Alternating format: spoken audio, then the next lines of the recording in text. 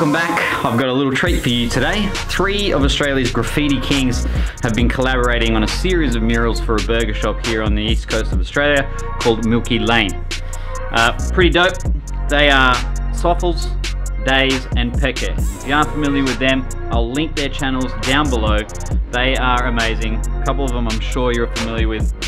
So stick around and I hope you enjoy this video. Cheers.